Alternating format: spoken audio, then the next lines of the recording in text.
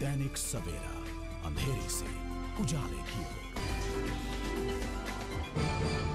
लुधियाना के गौशाला नज़दीक नाले पर लगने वाली अवैध मांस मंडी में देर शाम निगम अधिकारियों व पार्षद को मांस मंडी हटवाने के लिए कड़ी मशक्कत करनी पड़ी।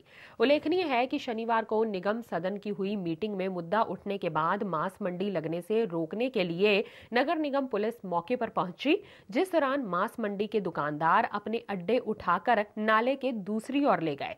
इसी दौरान मांस मंडी लगाने वाले दुकानदारों ने कहा कि वे नगर निगम से मांग करते हैं कि उन्हें कोई पक्की जगह या दुकानें अलॉट की जाए, जिससे वे अपना रोज़गार सही ढंग से करते हुए परिवार का पालन पोषण कर सके।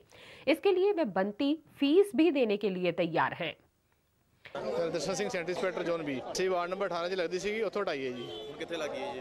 ਹੁਣ ਵਾਰਡ ਨੰਬਰ 1 'ਚ ਚਲੀ ਗਈ ਜੀ। ਉਹ ਤੁਹਾਡਾ ਏਰੀਆ ਕਿਹਦਾ ਏਰੀਆ ਜੀ? ਨਹੀਂ ਮੇਰਾ ਏਰੀਆ ਨਹੀਂ ਜੀ। ਕਿਹਦਾ। ਏਰੀਆ ਜੀ ਉਹ? ਮੈਨੂੰ ਇਸ ਬਾਰੇ ਪਤਾ ਨਹੀਂ ਜੀ। ਤੁਸੀਂ ਇਹਦੇ ਬਾਰੇ ਕੋਈ ਸੀਨੀਅਰ ਅਫਸਰ ਨੂੰ ਮੈਂ ਡਾਕਟਰ ਵਾਈਪੀ ਸਿੰਘ ਨੂੰ ਆਪਣੇ ਨੂੰ ਇਨਫੋਰਮੇਸ਼ਨ ਦੇਤੀ ਜੀ। ਟ੍ਰਾਈਬ ਸਿੰਘ ਕੌਣ ਨੇ ਜੀ?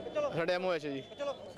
ਐਮਓਐਚ ਹਾਂਜੀ ਹਾਂਜੀ। ਤੇ ਉਹਨਾਂ ਨੇ ਇਸ ਬਾਰੇ ਕੀ ਦੱਸਿਆ ਕਿ ਉਹ ਕਹਿੰਦੇ ਸੀ ਅਗਲੀ ਕਾਰਵਾਈ ਕਰਾਂਗੇ ਇੱਥੋਂ ਜਿਹੜੀ ਹੈ ਲਿਫਟ ਸਾਰੀ ਹਟਾਤੀ ਜੀ ਇੱਥੋਂ ਹੀ ਬਿਲਕੁਲ ਜੀ। ਠੀਕ ਹੈ।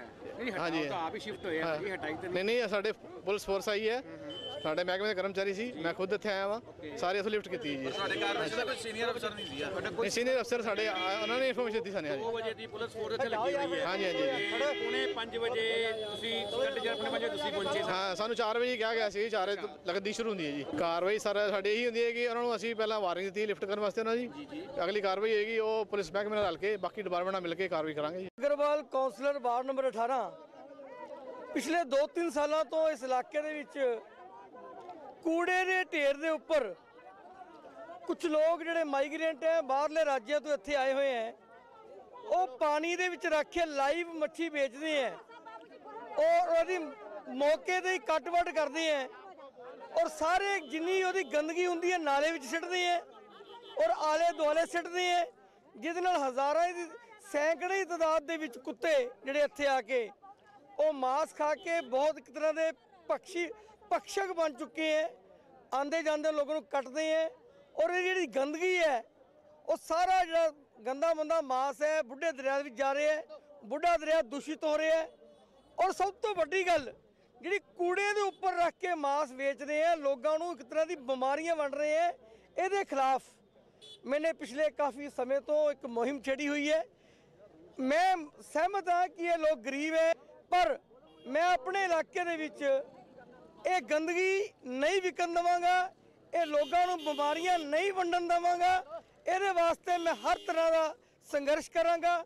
ਮੈਂ ਅੱਜ ਜੋ ਕੱਲ ਵੀ ਅਸੀਂ ਨਗਰ ਨਿਗਮ ਦੇ ਹਾਊਸ ਦੇ ਵਿੱਚ ਆਵਾਜ਼ ਉਠਾਈ ਸੀ, ਮੈਂ ਧੰਨਵਾਦੀ ਹਾਂ ਕਮਿਸ਼ਨਰ ਸਾਹਿਬ ਦਾ ਔਰ ਸਾਰੇ ਹੀ ਨਗਰ ਨਿਗਮ ਦੇ ਮੁਲਾਜ਼ਮਾਂ ਦਾ ਕਿ ਉਹਨਾਂ ਨੇ ਅੱਜ ਇੱਥੇ ਆ ਕੇ ਕਾਰਵਾਈ ਕੀਤੀ। ਮੇਰੇ ਇਲਾਕੇ ਚੋਂ ਮੱਛੀ ਮਾਰਕੀਟ ਸ਼ਿਫਟ ਕਰ ਦਿੱਤੀ, ਪਰ ਮੈਂ ਚਾਹੁੰਦਾ ਇਹ, ਮੈਂ ਕੱਲ ਕਹਾਂਗਾ ਕਿ ਇਹ ਮ- ਮੱਛੀ ਮਾਰਕੀਟ ਸ਼ਿਫਟ ਮੇਰੇ ਇਲਾਕੇ ਤੋਂ ਤਾਂ ਹੋ ਗਈ।